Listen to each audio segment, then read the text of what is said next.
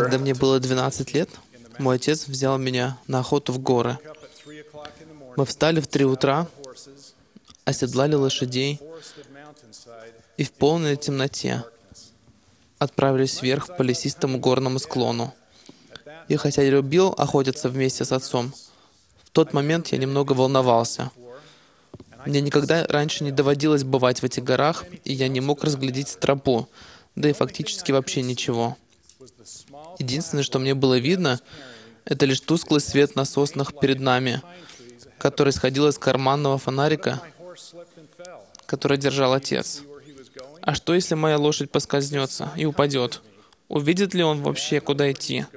Но меня утешила эта мысль. Отец знает, куда идет. Если я буду следовать за ним, все будет в порядке. И все было в порядке. В конце концов зашло солнце, и мы прекрасно провели день. Когда мы собирались идти домой, отец указал на величественную крутую вершину, выступавшую среди других. «Это Уинди Ридж», — сказал он. «Вот где хорошо охотятся». В ту же минуту я понял, что хочу когда-нибудь вернуться и взойти на Уинди Ридж. В последующие годы мой отец часто говорил о Уинди Ридже, но мы так туда и не вернулись. До тех пор, пока две- 20 лет спустя я не позвонил отцу и не сказал «Поехали на Уинди Ридж». saddled our horses, И снова мы оседлали лошадей и отправились вверх по горе. now an experienced rider in my 30s, К этому времени мне было уже за 30. to feel the same nervousness Я был опытным наездником, и все же, к моему удивлению, испытывал такое же волнение, которое ощущал в 12 лет. Но отец знал, куда шел, и я следовал за ним. Наконец-то мы взобрались на вершину Уинди. Вид был головокружительным, и меня переполняло чувство, что я хотел вернуться туда, но на этот раз не ради себя, а ради своих жены и детей. Мне хотелось, чтобы они испытали то же, что испытал я. На протяжении многих лет мне не раз доводилось водить своих сыновей и других юношей на вершины гор, точно так же, как меня водил мой отец. Этот опыт побудил меня поразмышлять о том, что значит вести и что значит следовать. Что бы вы сказали, если бы я спросил, кто величайший из когда-либо живших руководителей? Конечно же, Иисус Христос. Он подал совершенный пример любых мыслимых качеств руководителя. Ну а что, если я бы вас спросил, кто величайший из когда-либо живших последователей? Разве не было бы ответом снова Иисус Христос? Он величайший руководитель, потому что Он величайший последователь. Он следует своему Отцу абсолютно во всем. Мир учит, что руководители должны быть великими. Господь учит, что мир, что они должны быть кроткими. Ми- Мирские руководители обретают силу и влияние через свои таланты, навыки и богатство. Руководители, по примеру Христа, обретают силу и влияние через убеждение, долготерпение, мягкосердечие и кротость, и любовь непритворную. В глазах Бога величайшие руководители всегда были величайшими последователями. Позвольте мне поделиться двумя примерами из моего недавнего опыта общения с молодыми мужчинами церкви, которые преподали мне урок о руководстве исследования. Недавно мы с женой посетили причастное собрание не в нашем домашнем приходе. Прямо перед началом собрания ко мне подошел юноша и спросил, не, помог, не помогу ли я разносить причастие. Я сказал, что с радостью сделаю это. Я сел с другими диаконами и поинтересовался у одного, сидящего рядом со мной, какое у меня поручение. Он сказал, что мне нужно будет начать с последних рядов в средней части зала, что сам он будет на противоположной стороне того же сектора, и сообща мы будем продвигаться к передним рядам. Я сказал, давно этого не делал. Он ответил, ничего страшного, вы справитесь. Я тоже поначалу как так себя чувств... ощущал. Позже на причастном собрании выступил самый младший диакон в кворуме, которого посвятили в диаконы всего лишь несколько недель назад. По окончании собрания его окружили другие диаконы, чтобы выразить ему, как они горды своим товарищем по кворуму. Поговорив с ним в тот же день, Я узнал, что каждую неделю члены всех кворумов священства Аронова в том приходе обращаются к другим юношам и приглашают их влиться в их кворуме. Все эти юноши были прекрасными руководителями. И, несомненно, за ними стояли замечательные носители священства Милхседекова, родители и другие люди, которые наставляли их в исполнении их обязанностей. Подобно заботливые взрослые видят юноши не только такими, какие они есть, но и такими, какими они могут стать. Разговаривая с ними или говоря о них, они не сосредотачиваются на их недостатках. Вместо этого они подчеркивают, какие прекрасные руководящие качества они демонстрируют. Молодые мужчины, именно, именно так вас видит Господь. Я приглашаю вас видеть себя таким образом.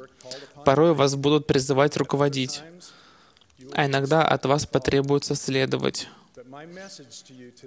Но мое сегодняшнее послание к вам заключается в том, что независимо от вашего призвания, вы всегда руководитель, и вы всегда последователь.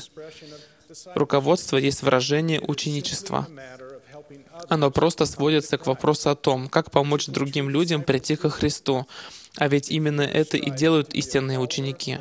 Если вы стремитесь быть последователем Христа, то тогда можете учить других следовать Ему и можете быть руководителем. Ваша способность руководить не исходит из черт выдающейся личности, навыков, мотивации или даже таланта публичного оратора. Она исходит из вашего обязательства следовать Иисусу Христу.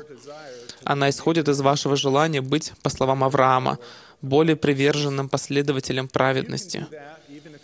Если вы можете это делать, даже если вы в этом несовершенны, но тем не менее стараетесь, тогда вы действительно руководитель. Другая история произошла в Новой Зеландии, где я посетил дом одинокой матери, воспитывавшей трех подростков. Старшему сыну было 18 лет, и священство Милхседекова он получил лишь в предыдущее воскресенье. Я поинтересовался, не довелось ли ему уже применить это священство. Он ответил, «Я не знаю, что это значит». Я рассказал ему о том, что теперь он обладает властью давать благословение священства, благословение исцеления или утешения. Я взглянул на его мать рядом, рядом с которой уже много лет не было носителя священства Махседекова. «Думаю, было бы прекрасно, — сказал я, — если бы ты дал своей матери благословение». Он ответил, «Не знаю, как это делается». Я объяснил, что он может возложить руки на голову своей матери, произнести ее имя, заявить, что дает ей благословение властью священства Мелхиседекова, сказать то, что Дух вложит ему в разум и сердце, и завершить во имя Иисуса Христа. На следующий день я получил от него письмо по электронной почте. В нем сказалось, в частности, «Сегодня вечером я благословил свою маму. Я очень-очень волновался и чувствовал себя неуверенным, поэтому молился непрестанно, чтобы со мной пребывал Святой Дух, так как без Него я не смог бы дать благословение. Начав, я совершенно забыл о себе и своих слабостях. Я не ожидал, что почувствую такую огромную духовную и эмоциональную силу. Затем меня охватил такой дух любви, что я не смог сдержать своих эмоций, и, обняв маму, разрыдался, как ребенок. И даже теперь, когда я пишу эти строки, я ощущаю Дух настолько сильно, что не желаю больше никогда грешить. Я люблю это Евангелие. Не радостно ли видеть, как, казалось бы, обычный юноша может совершать великие дела благодаря служению священства, даже когда он чувствует себя неуверенно. Недавно я узнал, что этот молодой старейшина получил призвание служить на миссии и через месяц прибудет в Центр подготовки миссионеров. Я верю, что он приведет много душ ко Христу, потому что в своем служении священства он узнал, как следовать Христу, начиная со своего собственного дома, где его пример оказывает глубокое влияние на его 14-летнего брата.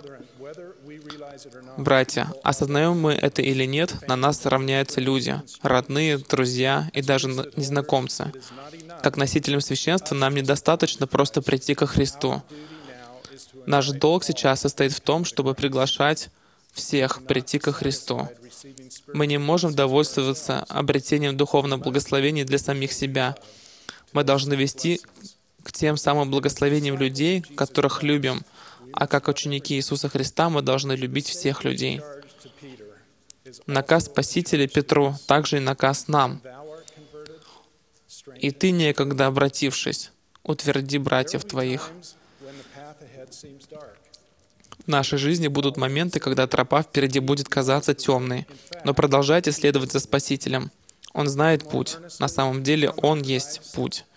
Чем усерднее вы будете следовать за Христом, тем сильнее будет ваше желание помогать другим людям испытать то, что испытали вы. Это чувство также можно назвать милосердием, которое Отец даровал всем истинным последователям своего Сына Иисуса Христа.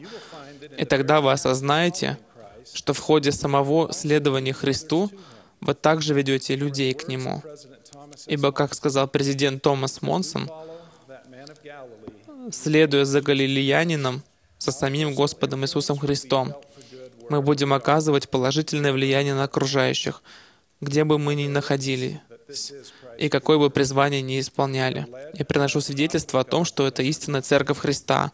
Нами руководит пророк Бога, президент Монсон, великий руководитель, который также истинный последователь Спасителя. Во имя Иисуса Христа. Аминь.